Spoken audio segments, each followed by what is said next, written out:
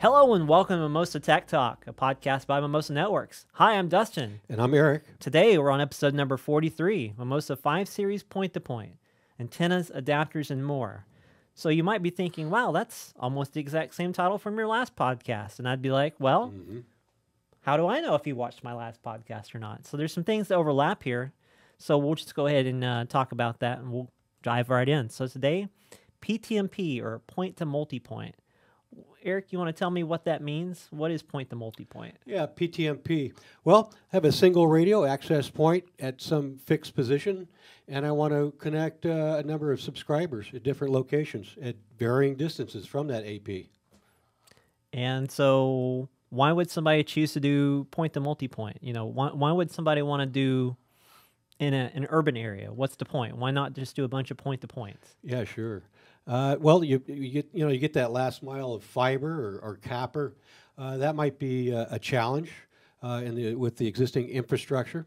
Uh, so why not uh, do it wirelessly over radio? So feed the uh, internet into one radio and, and beam that signal out, and have multiple client radios on at each location.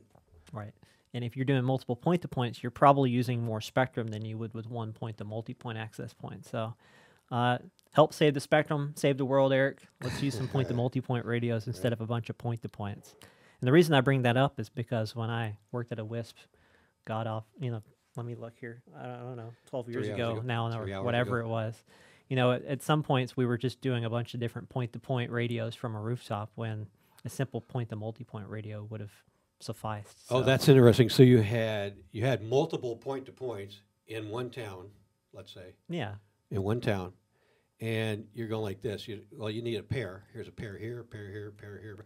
Why not just do a point to multi-point one? radio. Oh boy, Well, you know, 12 years ago or Right. whatever, um, you know, point to multi-point radios might not have had as We're- much throughput as they do now. So, you know, for us, we needed to do dedicated circuits. So it And- wasn't such a good idea back then. were you were there multiple locations, say within one town, and did you use a sector, a bunch of sectors, or would you use any omni directionals on those APs?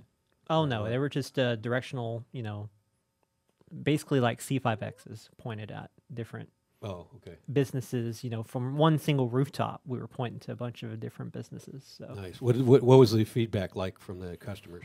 Well, Such- you know, it was too slow on point to multi point, so we had to do multiple point to points. But you know, this day and time, you know, point to multi point has come a, a very long way. Sure, it So evolved. Yep.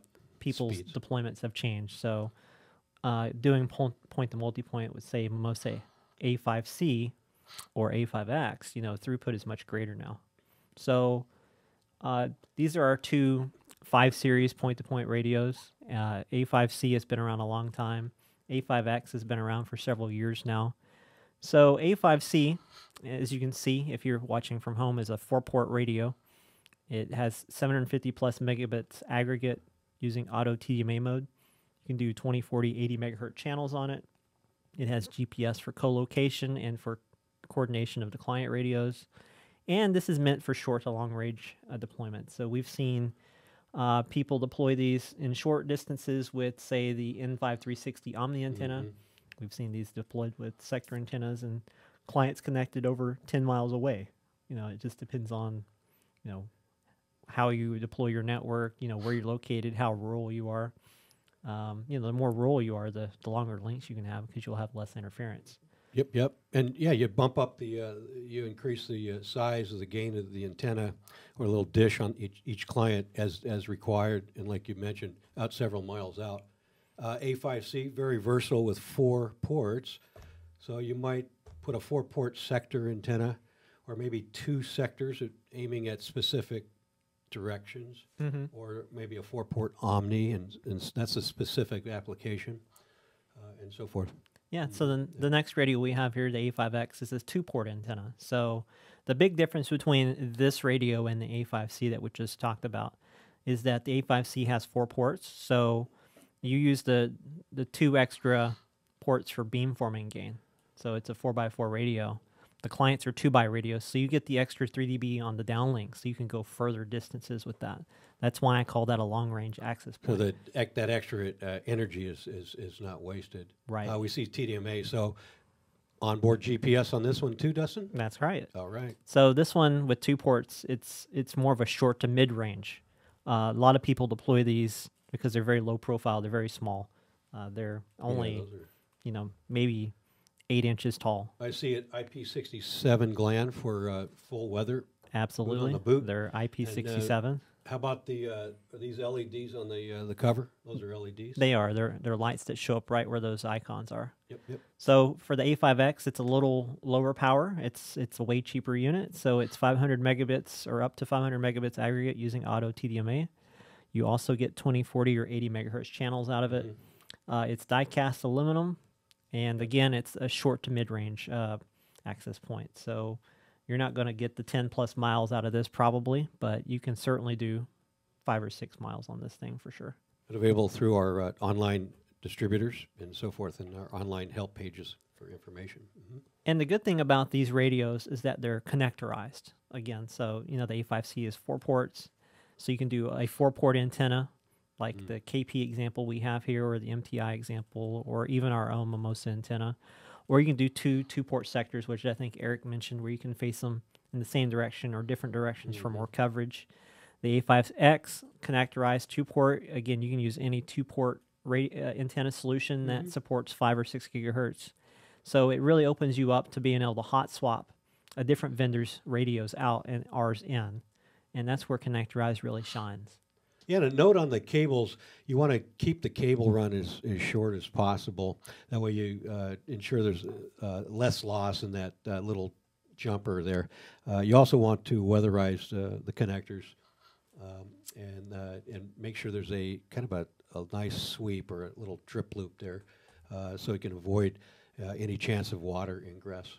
So I'm sure most of our viewers or listeners are professionals, but for those that aren't or, or haven't really done a lot of this, why why do you need to weatherproof these? What does that mean? Yeah, yeah. Well, we've got things like uh, self-vulcanizing, the black uh, tape, um, and then the coax, uh, kind of a coax tape or seal or putty. And we want to keep moisture out of the, each of those four ports, for example, on the, this A5C. Um, if you uh, if if you experience water in the coax connection or in the port, uh, you can have cha- you can have some uh, performance suffer in, in that chain or that stream, for example. and from personal experience you you you will see either a complete disconnect of clients or you know if it's point to point the other end of the radio if you've got water in there or you know the signal will drop 20 30 40 db depending on how much water's in that cable so and sometimes even if you think they're sealed up good you still get moisture in there from you know temperature changes and whatnot so it's not 100% going to keep it dry but it will definitely help you a, a, a ton And, and you want to you want to uh, uh, put the best cables you can af- afford on there.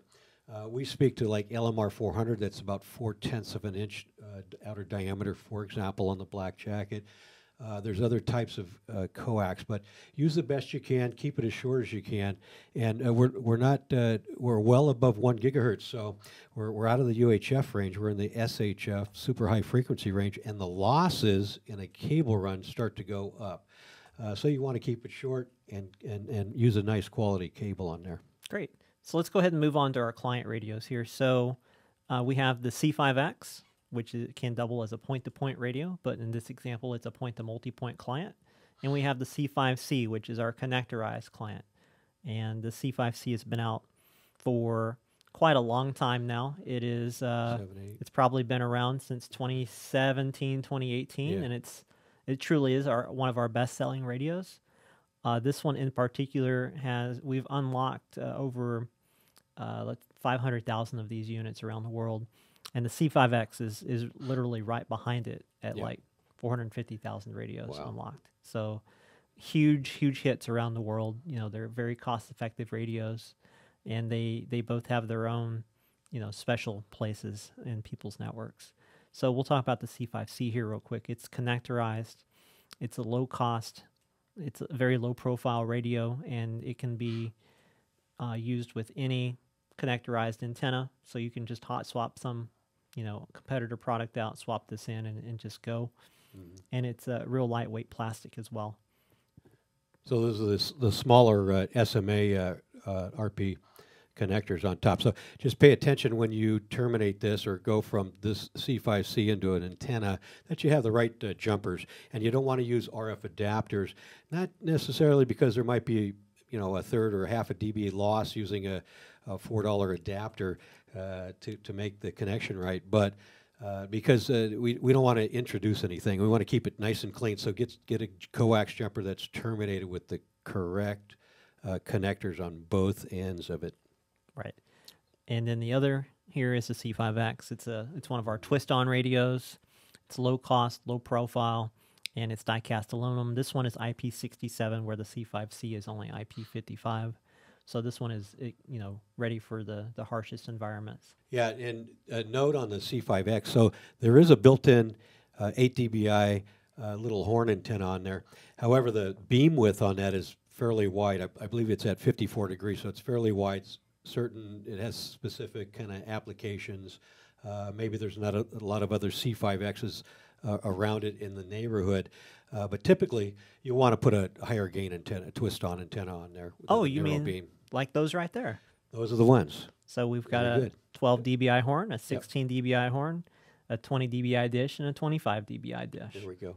Yep. So the the lower dBi uh, antenna or horn, as you might want to say, is a wider beam width, Mm-hmm. so shorter range. And as you go up in dBi, that increases the distance and you know condenses the beam down into more of a, a Yeah. narrower beam.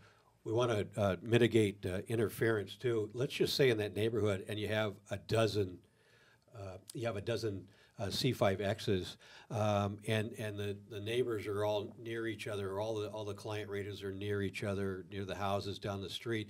Well, what you want to do is you want to go with a narrower, or a higher gain dish, and kind of take that beam width down. So keep, keep keep things clean, maximize the throughput, and so on. Great. Well, you know, there are people who go 10 plus miles, and, you know, like with the C5C, they have a, a connectorized two foot dish that they might use for the 10 mile plus shots. So I know we talked about this in our last podcast, but again, there's no guarantees that the folks listening or watching have heard or watched the last podcast if point to point doesn't interest them. So I want to make sure that people know that we have now a 30 dBi antenna that's coming out. Uh, we're aiming to have this available here in the next couple of weeks for people to start purchasing. Uh, as far as I'm aware, you know these are on the way to Malaysia right now, so we can start distributing those out. So Great. this is the N5X30KP. So it's a 30 dBi dish. It supports B5X and C5X. Uh, it's very easy to ship. It comes in a very small box. It comes in pieces. So in you know triangle shaped pieces, you kind of see from you know from home if you're watching, you know the it's kind of sliced into six different pieces there. And this thing supports 4.9 to 6.4. Is there anything you want to add about this since we already talked about this I- in the last I- one? Um, I, th- I think uh, I think you uh, you hit it there. Um, yeah, we call those uh, on that primary reflector the big big two foot dish there. So those are the petals, those little pie shapes. So we're able to get the packaging real nice and tight, nice and small. So that, that should be nice and handy for uh, for shipping. Beam width you're looking at a right around five degrees, so fairly tight. So if you're pushing uh, uh, more than a couple of miles, you're you're running uh, 20 plus miles, et cetera, uh, you get the compass out and uh, peak the signal. All right. And then the last thing we'd like to talk about, which again we covered last time on the podcast, but you know doesn't hurt to get the the news out again on another one, is twist on adapters. So, you know, earlier I was talking about how you know I, I really like connectorized radios. It gives you more options. It allows Yeah. you to connect to any third party antenna. We've had some great vendors around the world uh, create some twist on adapters. So these screw into the, the B5X or the C5X. And it, you're effectively making it a connectorized radio because it has the the N ports or the RPSMA ports on them where you can you know connect them to any five or six gigahertz antenna that you can just continue to use your own antennas and to just use these radios instead of having to swap the dish and the radio out. Yeah, very uh, popular and versatile uh, uh, design, and it's been around for a bit. And so we have them. Uh, we'll have them for sale for Uh, our customers. Yep. Well, AOGcom, NetPoint, and Telemart all have them available now, and uh, you know we're partnering with these guys, or at least working with these guys to, Mm-hmm. you know, try and get the word out so people know that these exist. That way, you know, if you don't want to use a twist on antenna, you don't have to. So I, I personally am trying to look out for folks, and Eric's looking out for folks here. We're we're trying to, you know, make it as easy for people as possible. So, all right, Eric, well, I guess that's it for our show. Uh, guess we'll see you guys on our next uh, podcast. All right. Thanks, Dustin. Thanks, crew.